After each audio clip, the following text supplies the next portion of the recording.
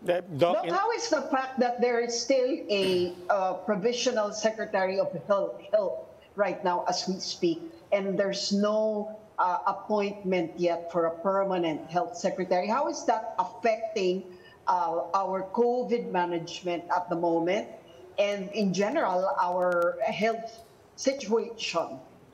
It's a big factor, uh, Lucy, no? Because uh, yun nga lang, yung sa mga procurement na itong mga bakuna under EUA, yung mga processing of other uh, mga uh, kailangan natin ngayon, uh, there are provisions na I think there should be, there are more, uh, what they call this, responsibility na magagawa ang SOH over that of an OIC.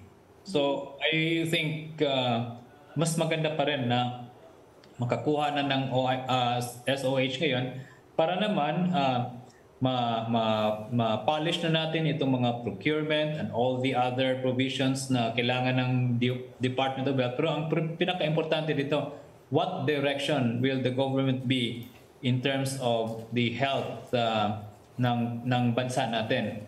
And we will only know that if we have an SOH because uh, the responsibility there, the function will really be different when you have an SOH over that of an OIC. There are pharmaceutical companies that are so sensitive about yung sinong pipirma, no? O sinong hindi pipirma. Because eh, alam mo naman yung mga legalities on that, no? So uh, uh, I am not just so sure how how how accurate is this, but pero nakikita ko rin yan. May mga hesitations ng mga pharma companies to do that if you are just an OIC compared to an SOH.